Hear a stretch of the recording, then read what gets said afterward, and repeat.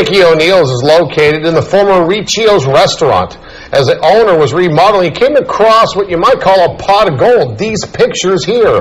Michael Farber found these rare photos of Frank Sinatra with the Riccio's kitchen staff. You know, Frank was here, Dean was here.